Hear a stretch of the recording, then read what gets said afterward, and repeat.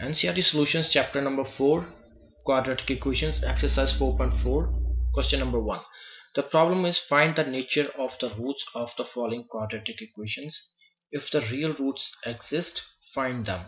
So let's go go to the first quadratic equation. It's 2x square minus 3x plus 5 equal to 0 we want to find nature of roots of this quadratic equation. So in order to find nature of roots we find the value of discriminant. And, and discriminant is equal to b square minus 4ac and we can also write discriminant by small letter d. And if the value of this discriminant comes out greater than 0 then we have distinct and real roots and if value of d is equal to 0 we have equal and real roots. And if value of d is less than 0 then we have no real roots. So that's what we do. We just find the value of discriminant and according to the different cases we can find the nature of the roots of given quadratic equations. So let's define let's find the value of discriminant for this quadratic equation.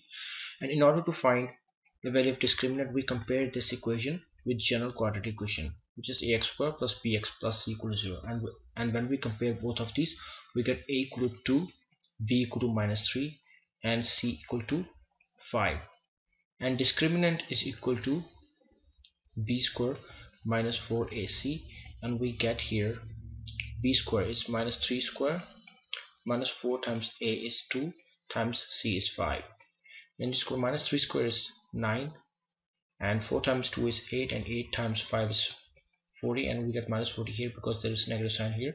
And 9 minus 40 is minus 31 so the value of d coming up here is therefore d which is equal to 31 is less than 0 so we are in this case. So then we can say that we have no real roots so that's the nature So what's the meaning of this no real roots? It means that we cannot have any real value of x here which can satisfy this quadratic equation. Okay, now let's go through second problem. We have 3x square minus 4 under root of 3x plus 4 equal to 0. We repeat the same process. We will find the value of discriminant and to find the value of discriminant we need to compare it with, with general quadratic equation and Comparing both of these equations, we get value of a equal to 3, b equal to minus 4 under root of 3 and c equal to 4. And discriminant D-I-S-C-R-I-M-I-N-A-N-T is equal to b square minus 4ac and it's equal to minus 4 under root of 3 square minus 4 times 3 times 4 I'm just putting the values of a b and c here. And minus 4 under root 3 times minus 4 under root 3 so minus minus becomes plus. So it's equal to 4 times 4 is 16 and under root 3 times under root 3 is 3 and it's equal to 48 here. So I'll write 48 here.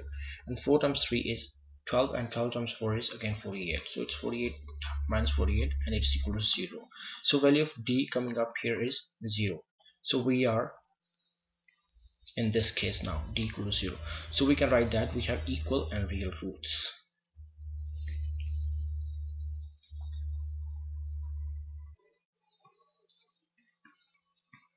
So the roots exist now. So we need to find the roots actually so how we will find them?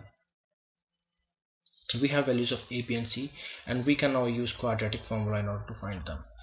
Quadratic formula is x is equal to minus b plus minus b square minus 4ac divided by 2a I'll just put the values of a b and c and minus b.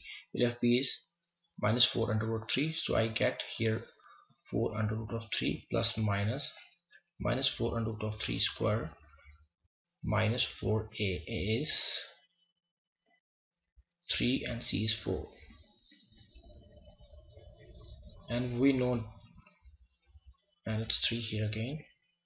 And we know that this whole thing is equal to 0 and this is actually the square root of discriminant this is b square minus 4ac if we look at the quadratic formula this is actually the discriminant thing under the square root. And we know that this is equal to 0 so I'll can just write plus minus under root of 0 divided by 6 here so x is equal to 4 under root 3 plus minus under root of 0 divided by 6 so in one case we can consider this positive sign and in another case we can consider this negative sign. Or we can just directly write the value of x. Or we can just directly write the value of x is equal to 4 under root 3 divided by 6 which is equal to under root 3 divided by 2 under root 3 divided by 3 actually. And we because we have two equal values we can write two such values. But let's go through this thing in order to avoid confusion how we get two equal values.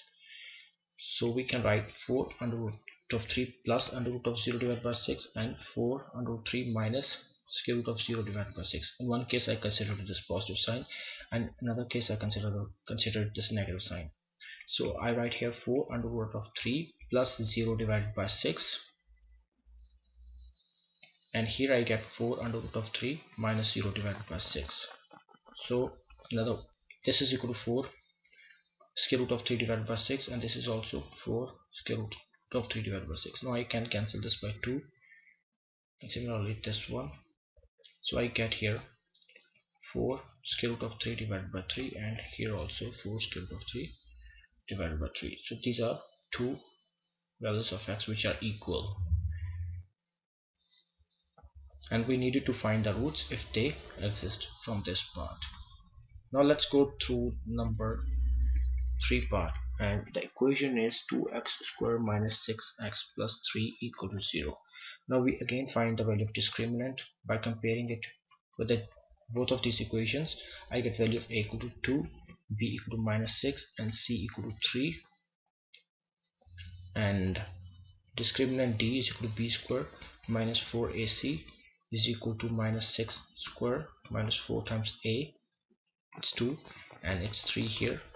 I get 36 minus 4 times 2 is 8 and 8 times 3 is uh, 24 and 36 minus 24 is 12 here.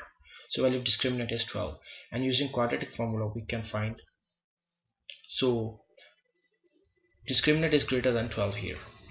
So we can comment about the nature of roots. The roots are going to be distinct and real. Because d is greater than 0 so I can write here distinct and real roots so x is equal to minus b plus minus square root of discriminant here because here we write basically b square minus 4ac and it's equal to discriminant. So I will just I will just write square root of d divided by 2a now I'll just need to put values of a b and c. B is minus 6 so minus b is equal to plus 6 plus minus square root of d. D is 12 divided by 2a a. Is 2 so it will become 2 times 2 here. So I get here 6 plus minus square root of 12 divided by 4 here. And now the square root of 12 is 2 square root of 3 divided by 4 here. So I get here x equal to 6 plus minus 2 square root of 3 divided by 4 now in one case I will need to consider this positive sign and in another case I will need to consider this negative sign. So I get x equals 6 plus 2 under root of 3 divided by 4 and 6 minus 2 under root of 3 divided by 4 here. Now I can take 2 common from the top I get 3 plus square root of 3 divided by 4 here. And similarly here I can take 2 common from the top. And I get 3 minus square root of 3 in the brackets and 4 here. I can cancel this 2 by this 4 get 2 in the denominators. So value of x equal to 3 plus square root of 3 divided by 2 from here. And from here I get 3 minus square root of 3 divided by 2 so these are values of x for part 3 for this part. So in this video we just learned how to comment on the nature of the roots by finding the value of discriminants and how we further solve them if the roots exist. In the next video I'll be covering chapter 4 quadratic equations exercise 4.4 problem number 2 see you guys